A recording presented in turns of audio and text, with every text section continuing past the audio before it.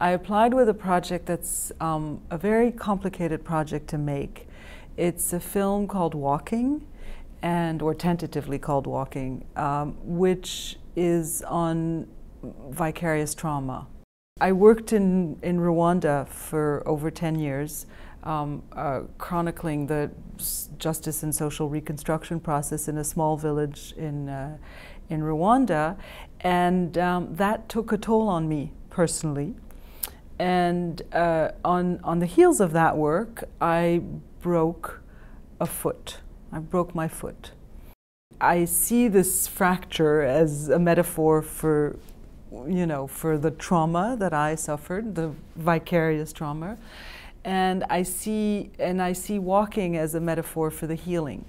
And so this film is, is, is a film about that, that is partially based on my experience and partially based on the experience of someone else I know who is um, a, a, a, UN worker who's been working in post-conflict situations for, um, I don't know, more than 25 years. And, and, and suddenly, uh, a couple of years ago, she started losing her eyesight. And when she told me this, I immediately thought she's seen too much. And, and the idea of this film, of walking, is to, uh, is to, to feed on both these experiences and to build a narrative um, uh, which will be half fiction, part fiction, part documentary, which is one of the reasons it's so hard to make.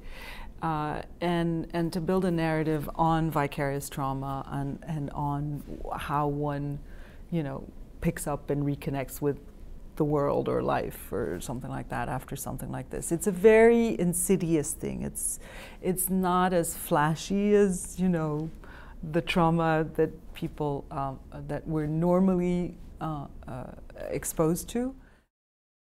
And then the third thing I worked on at Bellagio, which was also in the back of, of my mind for a long time, is a project on the monsoon.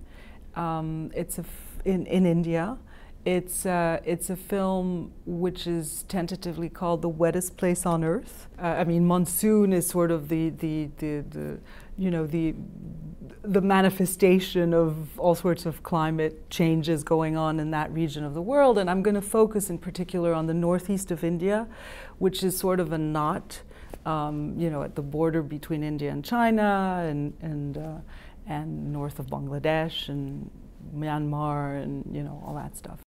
I, I hadn't realized that one of the key words of of uh, of the of the foundation, one of the key issues that you were looking at were issues of resilience, and it suddenly sort of you know it it sort of hit me. I'm like, oh, okay, well that makes total sense because that's what that's I mean overall what my work is about.